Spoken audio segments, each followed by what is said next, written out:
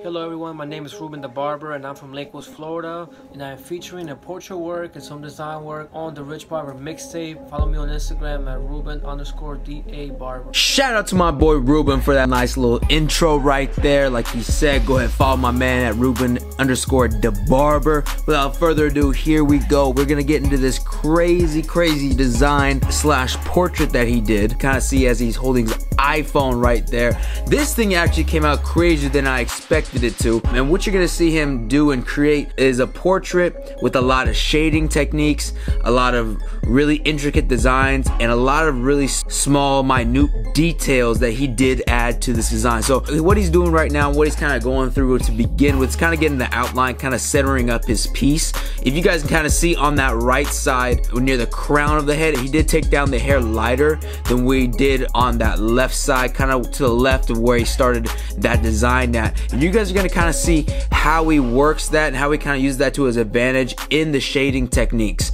If you can kind of tell in the portrait that he is holding there's a lot it, it's more of a black and white photo. So this is going to be a predominantly shaded portrait. There's not going to be any added color uh, any added enhancement that he is going to do to this cut. What he is doing a lot of on this cut is, is, is if you can kind of tell by his technique he's using that trimmer almost as like a pencil he uses a lot of that left corner side to really drag across the head he's not making his lines too too sharp and making them too too wide at first he's kind kind of just going over it kind of as a super rough draft of it, kind of getting a nice little outline, kind of getting in everything that he needs to do. And he'll grab those red clippers as well. I mean, what, what he does with those red clippers is, is almost kind of take it to a, another shading technique. You could tell that it's not going all the way bald. It's kind of getting down to the stubble. Not as close as his trimmers. He uses his trimmers to kind of get that nice close crisp cut when he wants those lines super super bald.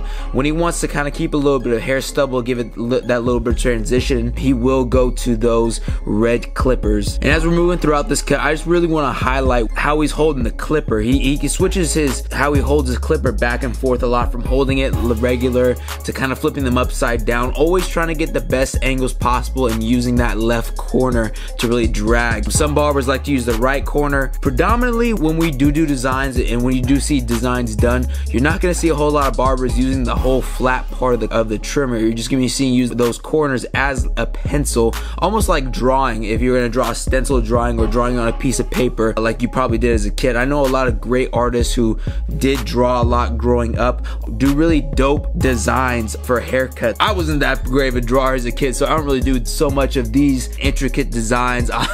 you're gonna come out with with a lopsided head if I was to do this on you. But Ruben did a really great job on this, keeping everything symmetrical.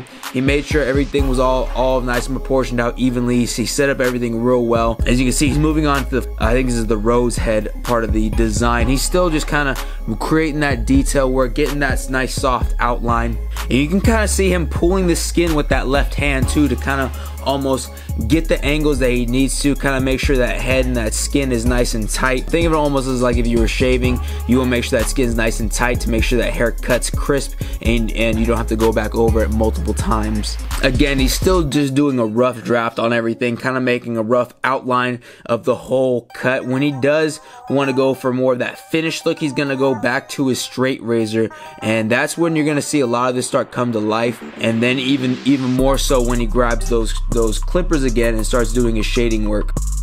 And as you can tell, probably from a lot of the earlier video, uh, when when he was starting out that rough outline, he had the phone in his left hand instead of pulling the skin with his left hand. He had the phone almost as a reference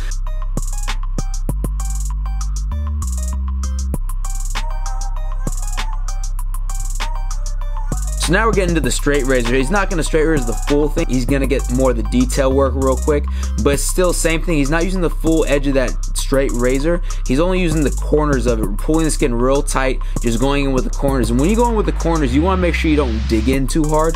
You still wanna get a little bit of a flat surface and still work really, really slow with that corner. You wanna make sure you don't cut your client's head or have too many blood spots happening. I'm gonna just shut up right now and just have you guys enjoy the artwork and the craftsmanship that, that Ruben puts into this cut and kind of just making sure you guys keep up with the details and make sure I'm not distracting you too much from this cut.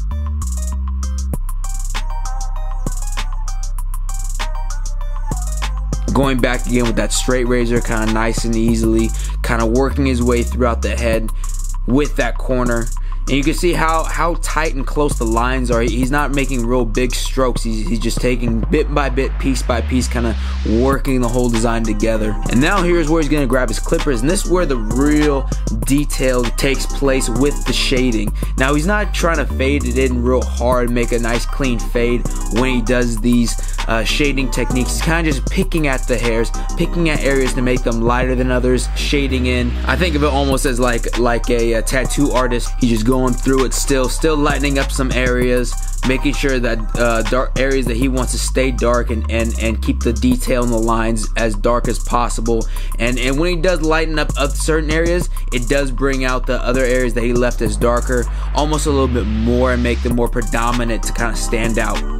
By the way, don't forget to follow my boy Ruben the Barber um, on Instagram. We'll have his Instagram somewhere here on the video and now you're seeing this this this image have more life to it now than it did before. It was a very dope and a very well done design but now it just has that life to it and it kind of gives it a little bit of a 3d effect with that. You as you can see the rows of course this is going to be a haircut too. He didn't just leave my man just leaving the shop hurt with just this fresh ass design in the back. He is going to line up the sideburns kind of finish out that fade on the sides from where he did take it down. And that's that's the finished product right there. That is how you get a very well done detailed design. A lot of picking action a lot of minute details that were put into this cut. Whenever you do designs, make sure you guys apply some of those same principles and, and same aspects that Ruben did right here with picking out with his shading techniques.